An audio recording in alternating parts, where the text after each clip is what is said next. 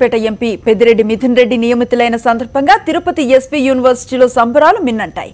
Party Rayalaseema విద్యార్థి విభాగం అధ్యక్షుడు హరిప్రసాద్ రెడ్డి ఆధ్వర్యంలో బాణాసంచా పేల్చి స్వీట్స్ పంచారు.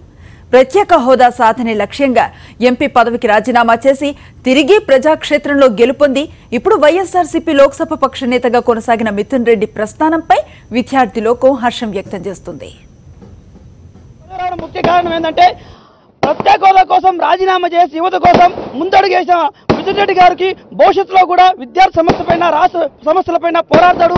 పార్లమెంట్లో ప్రజా గరాన్ని అందరం ఆశిస్తున్నాం. ప్రత్యేక హోదా కోసం ఆ రోజు ఎంపీ పదవిని తృణపాయంగా వదిలేసి నిరాహార దీక్షకు ఐదు రోజుల పాటు నిరాహార దీక్ష చేసిన దానికి ఈరోజు పార్లమెంటరీ పక్ష నేతగా ఎన్నుకోవడానికి మేము జగన్మోహన్ రెడ్డి గారు కూడా కృతజ్ఞతలు తెలియజేస్తున్నాం. ఆంధ్రప్రదేశ్కి సంజీవిని అయినటువంటి ప్రత్యేక హోదా కోసం పెద్దిరెడ్డి మిథున్ రెడ్డి గారి నాయకత్వంలో ఇరవై రెండు మంది ఎంపీలు కూడా మరొకసారి తన పోరాటాన్ని కొనసాగిస్తారని మేము భావిస్తున్నాం. ప్రత్యేక హోదా కోసం ఇరవై రెండు మంది ఇరవై రెండు మంది వైఎస్ఆర్ కాంగ్రెస్ పార్టీ ఎంపీలు త- మరొకసారి రాజీనామా చేయడానికి కూడా వెనుకాడరని మేము ఆశిస్తున్నాం. ఆంధ్రప్రదేశ్కు ప్రత్యేక హోదా సంజీవిని ప్రత్యేక హోదాను పెద్దిరెడ్డి మిథున్ రెడ్డి గారి నాయకత్వంలో సాధిస్తామని మేము ఆకాంక్షిస్తున్నాం.